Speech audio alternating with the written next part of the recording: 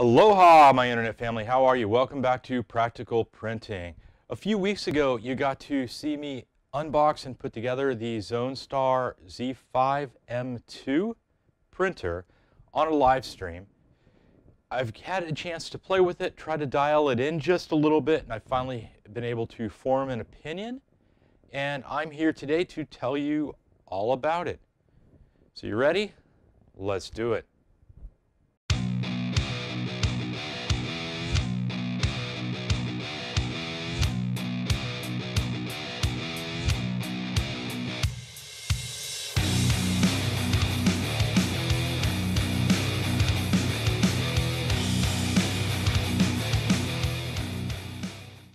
Okay, for everyone that missed the live stream, this is the ZoneStar Z5M2. Not to be confused with the ZoneStar Z5F, which is only a single extruder model. The Z5M2 is, has a mixing capable extruder. It looks to be similar to an E3D Cyclops uh, in that it can take the two and it mixes them in the extruder. Now, in my testing, I didn't intentionally do any mixing. I did have that as kind of a fallout factor, but I didn't want to get that far down that path because I was mostly concerned about extruding two colors and or being able to extrude a color and a support material. Okay, so there's a couple of things that I don't care for on the printer. There's a couple of things that are annoyances to me. And there's some things that I really like about this guy. So to start off with, the things that I don't like about it is on the build plate down here, the lower piece for the y-axis is acrylic, as is the base. It doesn't seem to be too bad on the base, but you do have a little bit of flex. The thing I don't like with that acrylic is that while it's all V-slot and V-wheels everywhere, if you can see any of them there, and on the base, they didn't use any eccentric spacers. So there's no way to adjust any play as the wheels wear. And as you can see here as I'm wobbling it, you can tend to get a little bit of wobble in the base. Likewise, you can see in the Z, uh, excuse me, the x-axis, no, well, where the x crosses the z over here, it's only a single lead screw, so this side is free floating. So you do tend to get a little bit of play on that side, but it doesn't seem to impact prints too much. We'll come back to the why in just a minute here.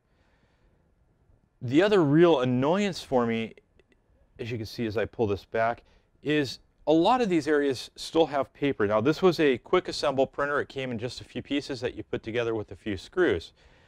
Doesn't take that long what was my annoyance factor is a lot of these acrylic pieces still had the paper on them, including this base plate. I peeled a little bit of away, but the back piece and underneath the controller board and underneath the power supply, it still has the paper on there. So although it's a quick assemble printer, if you want to get that paper off there, you've got to take the whole thing back apart, peel the paper, and put it back together.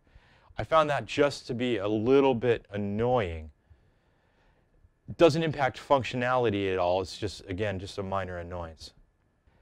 One of the other things that I don't care for on the printer is the control board mounts on the inside here, the power supply on the outside. And you may not be able to see that with this here. Power supply on the outside, the controller board is on the inside here. And that comes very close to impacting, if you're doing a wide print on the bed, it's very close to impacting that. It would be great if this had a cover and maybe was spaced back just a little bit to give it a little bit more room. Uh, again, it's not something that impacts the way that it prints, um, but it's something that I would like to see and probably something I'll, I would come back and modify later. Another minor annoyance here with the LCD is when you have the dual extruders, on the top, LCD in the middle, there's very little room here to try to get your SD card in and out the side of the LCD. That could very easily be remedied by 3D printing a new LCD bracket that lifts it up and angles it just a little bit and gives you a little bit better view. Let's go back briefly and talk about what I said about the eccentric spacers and the Y bracket. Now, the printer would be, because it is all V-slot, the printer is very easy to modify. I actually ended up breaking the Y bracket myself, full disclosure. Um, I was trying to adjust that to tighten that up a little bit, and I over tightened the screws on the wheels, and I ended up cracking it. So I ended up just printing a little bit of a plate.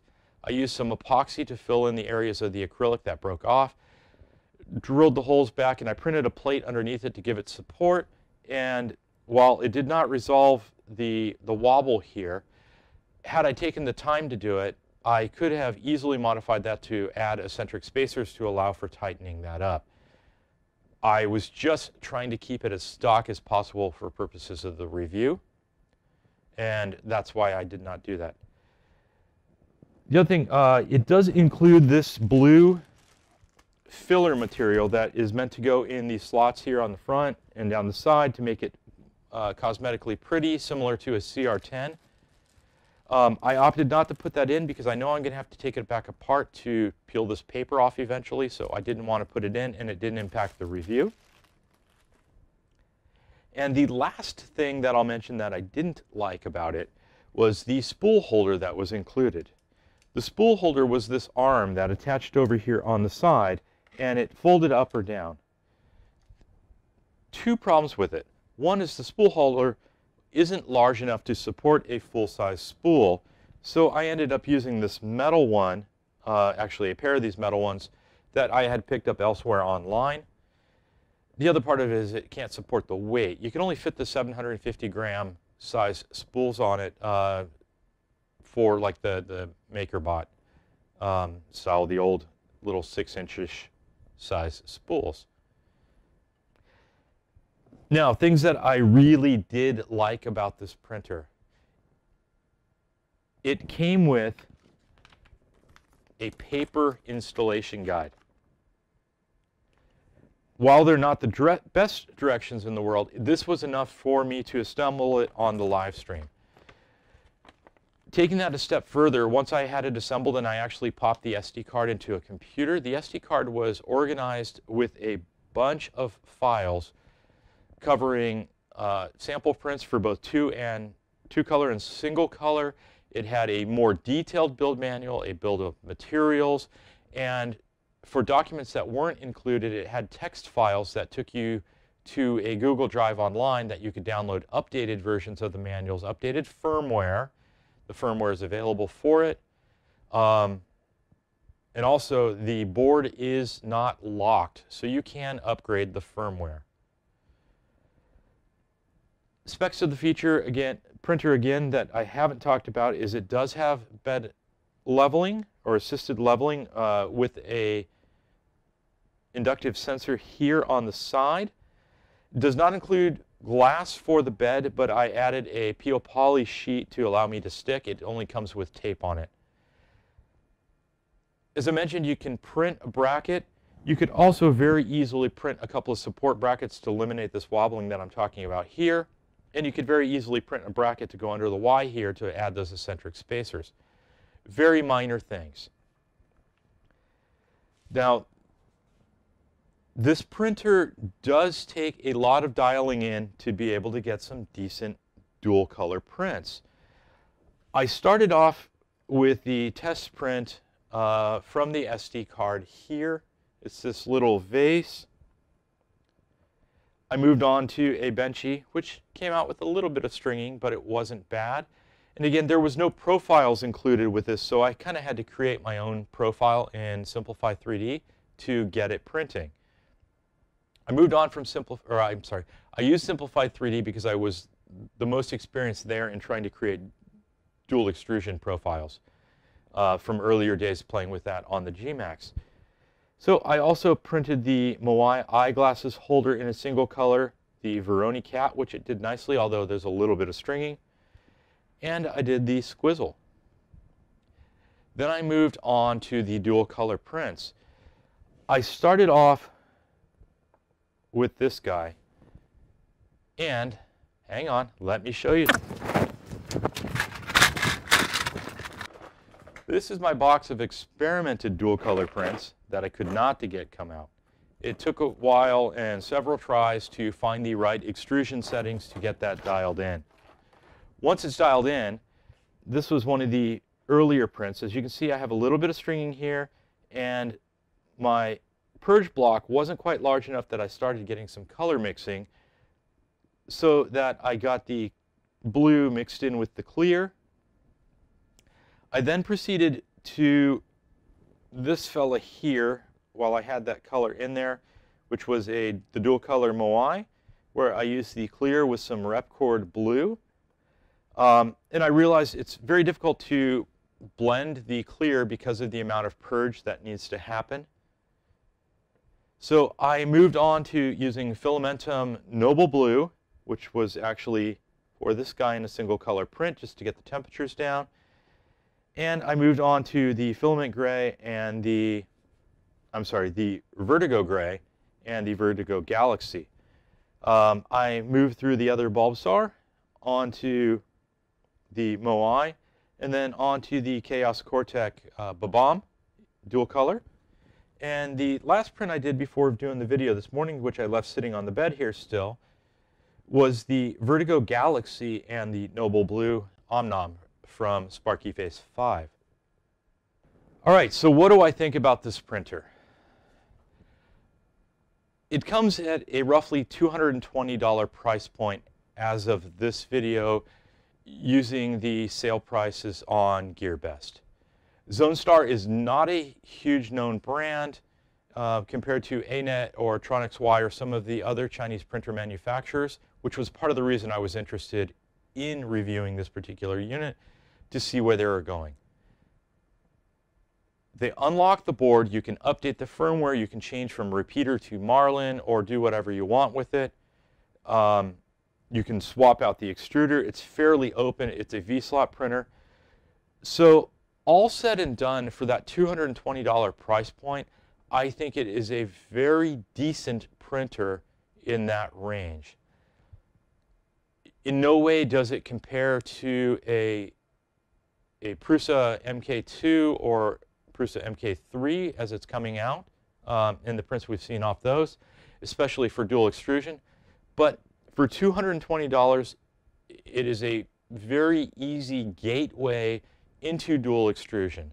If you only want to experiment with two colors or one color and a support material. I would recommend this printer to people that have some experience working with a single extruder printer. I would not necessarily recommend it as somebody's first printer Although the baby brother, the ZoneStar Z5F, which is a single extruder printer, might be better for you. The reason is, is because of the type of mixing extruder in here, it takes a little bit of experience and time to be able to dial it in to get some decent dual color prints. And there's a lot of frustration behind that. Given that it's not a kit, it's a RTA style, if you will. It's a three-piece printer, four-piece printer that you just couple of screws and it's together. I think people purchasing that are probably looking for a little bit more refined of a profile so that they don't have to necessarily sit and dial it in. People looking for a kit obviously are looking to for grounds up, hands down, you know, out the door, do everything yourself. So, summary, Decent little printer for 220 bucks. It's not the best thing in the world, but it's not bad. It is a good gateway printer. I would definitely consider adding some mods to it, which I will probably keep this for, around for a while to do just that because I don't have another dual color printer. And yeah, that's, that's about it it would probably make a nice little Christmas present to have under the tree for somebody um, that does have a little bit of experience or they're looking for something a little bit more, you know, than their ANET A8 that they've been tinkering with and they want to move on to the next step. So that's about it. If you're interested in learning more about this from the manufacturer, I've included not just the GearBest affiliate link down below, but I've also included a link to the manufacturer's website. uh, it's not the best website in the world. It's a translated website, it appears to be, but they are a legitimate company that actually does have their own website. Um, so I've included that down below as well. And that's about it. If you like the channel, if you like what we're doing here, uh, please feel free to subscribe. Hit that button so you get notified of new content. We're definitely going to be trying to put some stuff out between now and the holidays to keep you entertained and maybe give you some projects to do over the downtime around the holidays. And with that, I bid you aloha. Whoa, whoa, hold on. Don't go anywhere just yet. I forgot to get the disclaimer out. This printer was provided to me by GearBest to review and give you my honest opinions of. I was not compensated in any other way by GearBest for telling you about this printer other than receiving the unit and being allowed to keep it. The opinions that I've expressed today are mine and mine alone. And with that, I rebid you aloha.